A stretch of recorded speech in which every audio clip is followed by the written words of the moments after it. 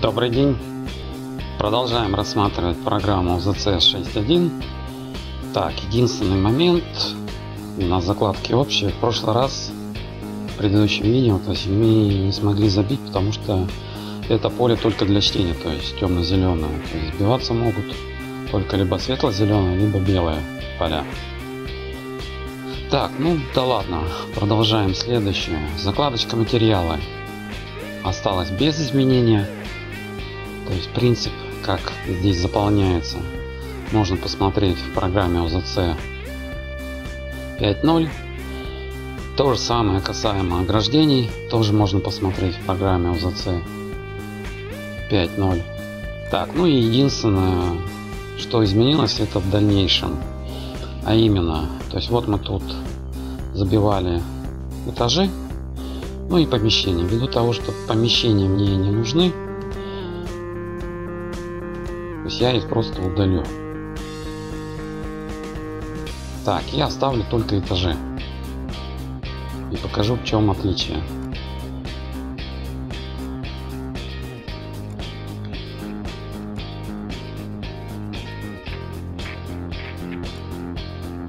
Так, вот я удаляю все.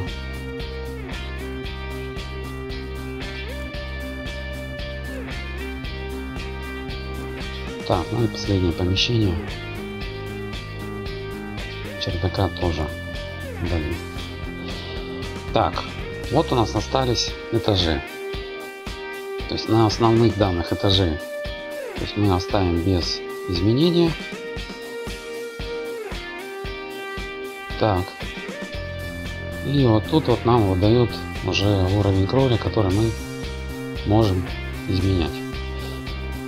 То есть, ну, кровли на подвале нету, поэтому оставим без изменений. То есть, сбивается принцип закладочка основные, которые появляются. То же самое, единственное, то, что мы сделали по умолчанию, здесь вот и осталось. То есть, высота полтора метра, ну и 20 градусов угол наклона крыши. Так, дальше. Здесь вот появилась закладочка на этажах план. Для чего нужна эта закладочка. То есть здесь мы можем отрисовать ваше ограждение непосредственно э, вводя рисунки ваших планов. То есть вот появляется меню. То есть здесь можно отрисовать это наружные стены, примыкающие к грунту, наружные стены, окно, входная дверь, внутренняя дверь, внутреннее окно, внутренняя дверь, проем в стене. Дальше то есть здесь вот ломаные рисуются, дальше пол, пол возле курсора, ну, то есть различные варианты. Проем в полу, если есть у вас там погреб или еще что-то, либо другую крышу. Дальше мансардное окно отрисуем, зону помещений, зону помещений возле курсора. Дальше роза ветров, направляющие, сетки, ставить рисунок. Так, ну и склеивание нескольких рисунков.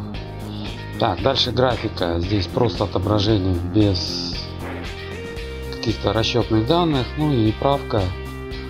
Здесь можно править слои. Да, вот, остановимся на плане.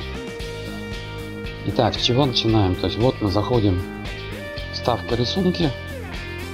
Нажимаем, то здесь может возможность э, сканировать, либо взять из буфера обмена, если вы, например, работаете в каких-то CAD-системах.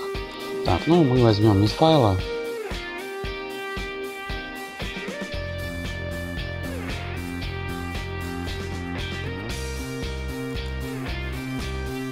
а именно тот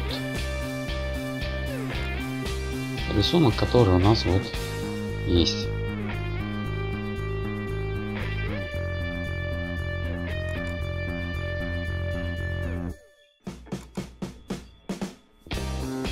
Так, ну и вот его берем.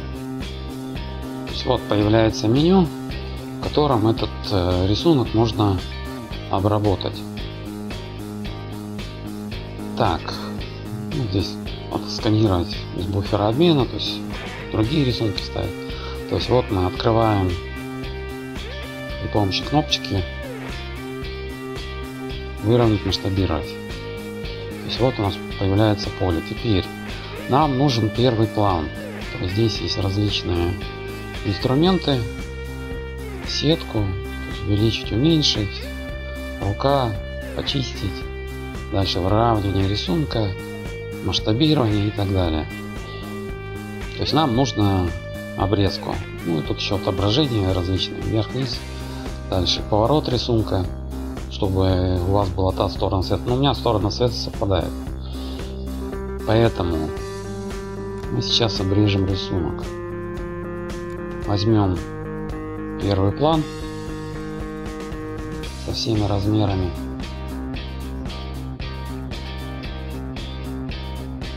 Так, ну и вот появляется кнопочка, напишем выполнить обрезку. То есть вот у нас появился план. Следующее действие. Нам нужно взять горизонтальный масштаб. То мы берем размер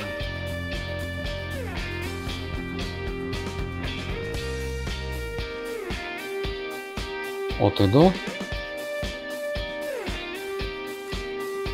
который у нас дам. Если что, мы здесь даже можем подредактировать.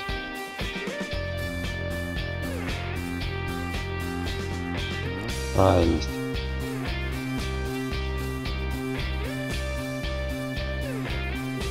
Так, ну и пишем здесь, сколько у нас метров по горизонтали. у нас 10 метров. Так, выполнить команду по горизонтали. Так, следующее действие. Опять. Только единственное отличие. Раньше брали горизонтальный размер, сейчас берем вертикальный.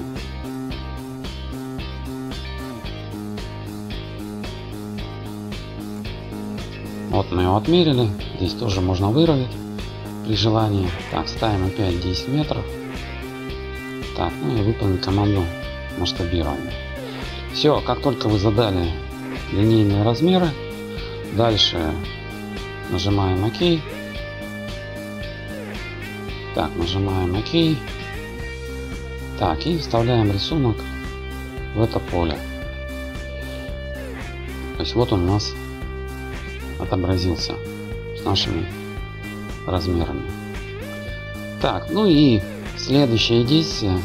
Начинаем отрисовывать ограждающие конструкции. Начинаем с пола. То есть открываем закладочку, нажимаем на кнопку панельки, выпадает меню, то есть и выдираем, выбираем то есть пол подвала и начинаем отрисовывать.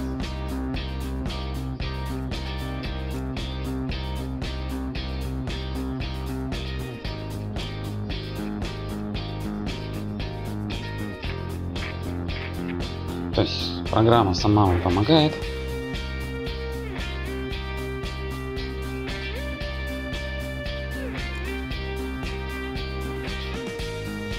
Так, и вот мы отрисовали пол подвала.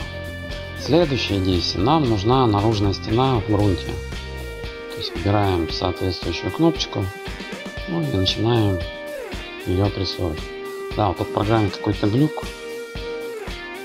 Достаточно нажать какой-нибудь ползунок, вертикально либо горизонтально, и тогда у вас при помощи колесика осуществляется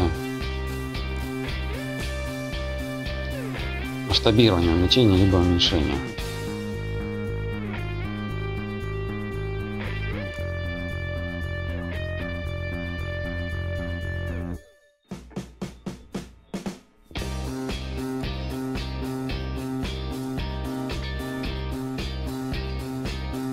Так, вот мы практически отрисовали, есть закрываем ограждение.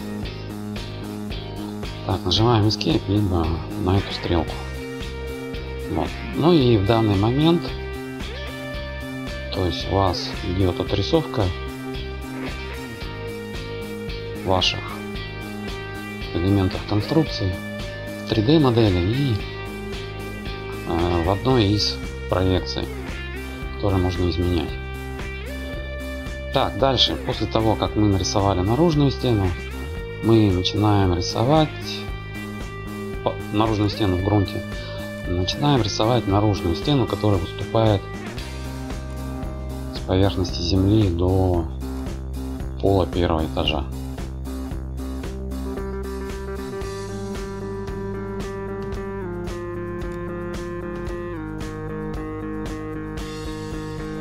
Так, ну и последнее.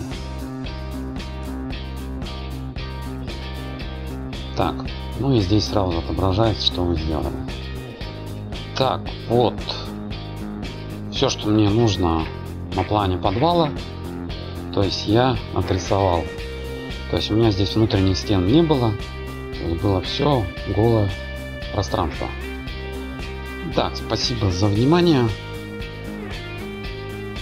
До следующего видео, где мы рассмотрим, как отрисовывается план первого этажа.